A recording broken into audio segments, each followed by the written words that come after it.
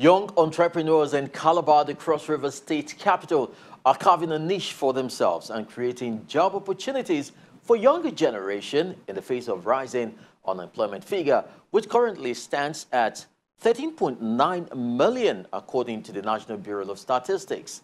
We took our time with two of them, Emmanuel Ezima and John Edom.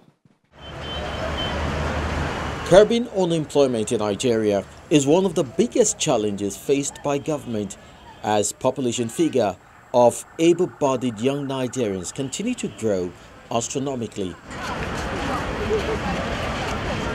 With little or no opportunity to get employed, a lot of young people have resorted to honing and applying their survival skills and becoming entrepreneurs. Emmanuel Ezima a graduate of theatre arts from the University of Calabar is one of such young people. He hails from Biase local government area of Cross River State. For him, being a graduate is enough reason to look forward to a white-collar job, but much more important to him is the ability to create more job opportunities for others. This thought drove Emmanuel Ezima to start his shoemaking business in 2013 right behind his grandfather's window, using gum and leather to carve a niche for himself as well as engaging youth to be useful to the society.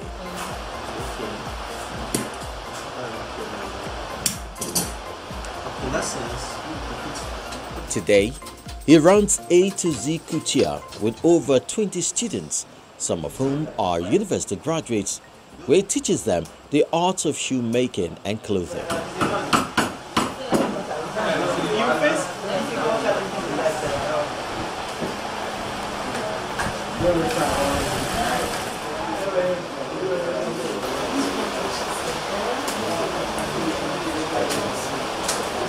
Besides using the proceeds from his business to cater to the family needs, he says giving other young people a voice and a means of survival was more important for him.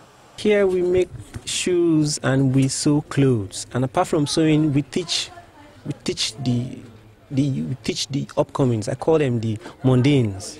We teach them, you know, the, to shape their future, to see how we can use entrepreneurship to touch the society at which we are. We want to see how we can use this platform to, you know, reach out to the society which we are uh, um, in terms of shoemaking and also tailoring. Thousands of people will tell you, God bless you, God bless you. I am okay with that. Most of them don't pay, don't, most of them pay, most of them don't even give anything. But we don't, we just need them to come out, have something to do for yourself in the nearest future. So the aim is not just to come train them out to go make money, but let them go impact on others that is just the main aim of this project which we are right now, Spirit of Enterprise. Emmanuel says business is good for now, but would have been better if the necessary equipment to aid production was available. We need the government to help us to, you know, expand the dream because the dream is a big dream. Let's expand the dream in the sense that if they should support us, probably maybe financially or machine-wise, we definitely we definitely have a huge amount of youths coming around to have what to do. First of all, to reduce the unemployment in, in, the, in the society which, which we are. It, it, it, it, most of the graduates finish school and they don't have what to do for themselves. This will definitely have, I mean, to shape them to having a good future for themselves. Mostly we have females, we have females, female shoemakers too. We have female tailors and we have male. But a lot of them, most majority are graduates. Apart from the fact that most of them don't have what to do. This could help them. So let's see how we can join hands together and see how we can reduce unemployment in Cross River State. Mr. David Ezima, the proud father of Emmanuel, recalls how it all began for his son. Emmanuel started showing me trends of using his hands to walk at the age of four. And I noticed that in him, that we buy him a toy, pieces the toy and try his best to see how he can put those things back. And actually, he used to succeed. So from there, I knew that this is what he's going to do. This is somebody that wants to use his hands. And actually, today, he's using his hands. Emmanuel prefers to get injured any other part of his body, but not his hands. So that is it. Here we are, we have the talent in shoemaking. Any type of shoe, he will do it for you. Bags, he does it. Belts, purse. You just name it. He does all that. The community where he resides benefits from his feat, and the people are delighted by Emmanuel's contribution towards job creation and poverty alleviation. I call him first the dreamer. I see him very creative and I like to encourage what is good.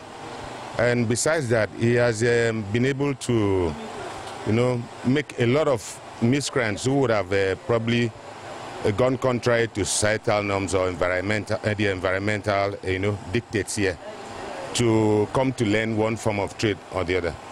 He is economically viable to this area because um, he's closing the gap gradually. You know, people will come out, those who are trained here, after training, they go get established with little stipends, they're on their own. And then they employ, they keep employing, and then this itself will help to reduce uh, the employment uh, rate.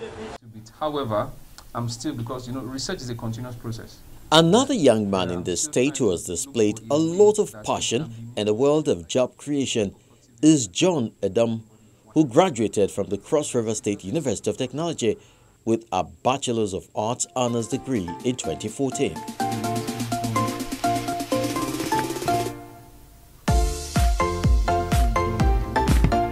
He is the first son of his family, yet has decided not to wait to be employed, but to recycle waste materials such as campaign papers and other posters.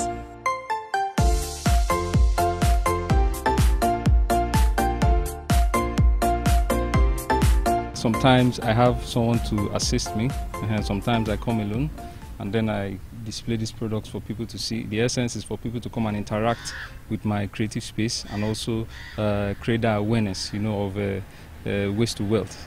Your, your ability for you to study colors and know how to create contrast, you know, so that um, you don't make the work too noisy or make it too scattered. Uh -huh. At least there has to be a blend. Uh -huh. So with consistency, as you keep you know, as I keep working with these colors, I, am I'm, I'm able to understand, you know, how to blend them together and working with the elements and the principles so that at least the colors can rhyme because rhythm is one of the principles of art. Also, emphasis is one of, also one of the principles of art. So, no matter what you're doing in a design, at the end, the message should still be there.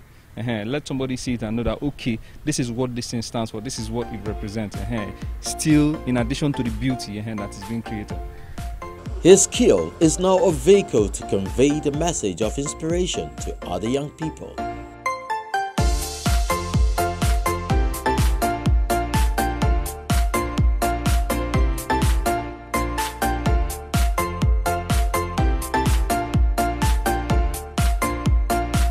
While these entrepreneurs strive to make a mark and contribute towards the reduction of unemployment in the state and the nation at large, they still look up to government and other well-meaning Nigerians for support and provision of necessary funding in order to help them better their craft and spread further the opportunity to reduce crime rates in the country.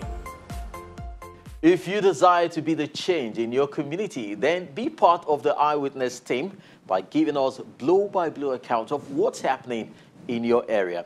Simply take the shot and upload with relevant information to the Channels TV Eyewitness platform, which is available on the Channels TV app, downloadable from the various app stores online. Launch the app, check for Eyewitness on the menu, tap and follow instructions on how to upload your story. It's quite simple. Now let's see what you already uploaded for the week.